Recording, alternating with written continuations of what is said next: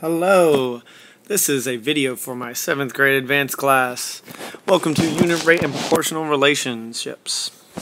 This is a good video to watch if you just weren't sure with how to do some of the problems on the last test or if you just need to review because this video is always going to be here and eventually you're going to need to remember this stuff again anyways. So let's get started.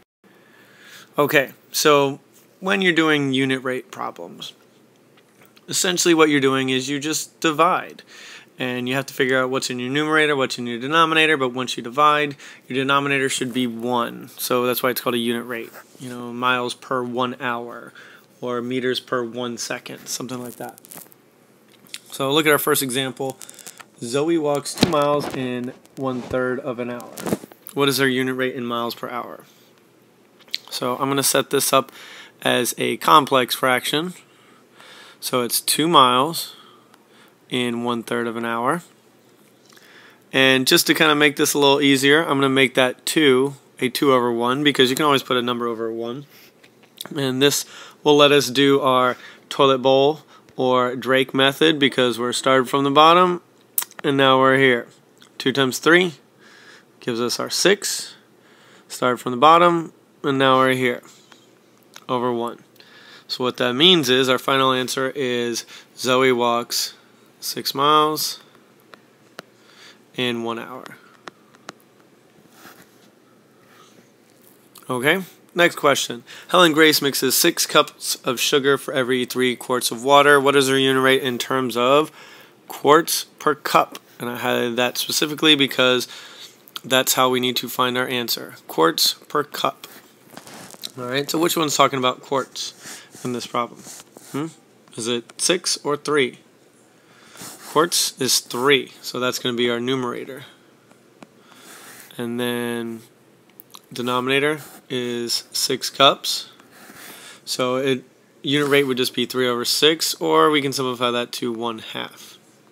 Okay, and what that means is it is 1 half quart for every cup. Okay, you got to pay attention to what they are asking for because mixing those up, if this if we did it in reverse order, 6 over 3, that would be 2, incorrect answer. Alright, we can find proportional relationships in graphs. And in this case, we're going to want to try to write an equation for it. So I'm going to put this down here. And we could also track this in a chart if we wanted to. Okay, so remember this is our x value, this is our y. Or we could call this cost, mm, cost would be our y, and over here gallons would be our X. So let's try to track this. Alright, now what I was going for here, it's kind of hard to see. But I was trying to get this graph, if you can kind of, oh, that's not making it any better, is I was trying to make that graph look like it is for every one gallon of gas, it's going to cost us $3. you can kind of see, because this would be then would make us two gallons. You can see how that would be at six. So just kind of keep that in mind. It's not perfect, but at three gallons, we would be somewhere around nine. Can you guys see this relationship? And that's useful because if we were to try to find a unit rate here, it would just be y's over x's. So the unit rate is 3 over 1. Okay, so what it means is $3 for every one gallon of gas. Okay, that's the unit rate, that's the rate of change, that's the constant of proportionality, because obviously if we go back to where this graph crosses the y-axis right here, it starts at 0, 0. So if we were to come up with an equation for this, it would be pretty easy. Remember, x is the gallons, and y is the cost. So the cost is equal to, depends on how many gallons you buy, but in this case, the cost is equal to 3, or 3 over 1, 3 times the number of gallons. So two equations we could write for this are y is equal to 3x or c is equal to 3g, again according to whatever variables you need to use. So we turned a graph just by finding rise over run, how much this graph is going up, if it's a linear proportional relationship. We can turn it into a chart by coming up with ordered pairs like for instance this pair 6 2 and 6, what that ordered pair means is 2 gallons of gas costs $6. And each of these points means a different thing in this situation. You just have to look at your variables, what they're telling you each variable stands for. You can find the unit rate by just dividing your uh, y's by the x's. 6 divided by 2 would give you 3. 3 divided by 9 divided by 3 would be 3. And you can plug that into an equation, put your unit rate right here. y is equal to unit rate times x. Of course, this is also known as slope when we get into algebra. So they all tie together, they all fit together. Let's see more examples. Okay, what if we just had an equation? And since this is a proportional relationship, they'll generally look like this. So let's say y is equal to 1 half x.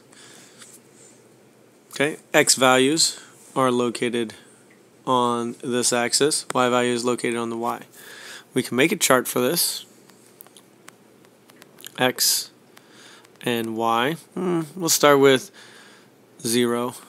What is, if I'm going to take this number and plug it in for X, so what is 0 times 1 half? Oh, that's easy. That's 0.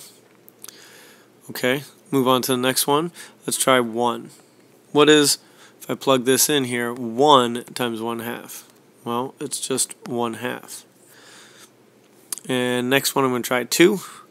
So what is 2 times 1 half, or 2 halves is really just 1 whole. We can keep going with this. I'm going to try the next one. It's 4. Half of 4 is 2. Okay, and this will give us some good points to start with. But we're going, starting from our equation here, turning it into a graph or a table. They're all related. And of course, the unit rate here would just be this divided by this, this divided by this. Doesn't matter. 1 half divided by 1, you always get unit rate 1 half, same thing as our slope. Okay, so let's start plotting those points. Okay, so 0, 0 would be right here. Let me pick a different color so you can see a little bit better. 0, 0. Then we're going to go over 1, up 1 half. Oh, this is hard to see, but it'll look better. And then over 2, up 1. It's really hard to draw on this, but I think you kind of see it forming. Over 2. Sorry, over 4, up 2 that would be here somewhat in this area and if you can kind of connect these with a line that looks better than mine you can see a graph that looks something like this 8 4 yeah that point would be on the line somewhere there um, so we turned our equation just looking at slope and rise over run here and our unit rate up up 1 over 2, up 1 over 2, up 1 over 2, up 1 over 2, and it's tracked through this whole um, this whole line. Okay, so hopefully this helps you review. Maybe you can use this for some test corrections. Uh, we are going to need to know this stuff later in the year, so it'll be a good chance if you forgot to go back and review this. Proportional relationships, unit rates, all very much related. All right, good luck, guys. Have a great rest of your week.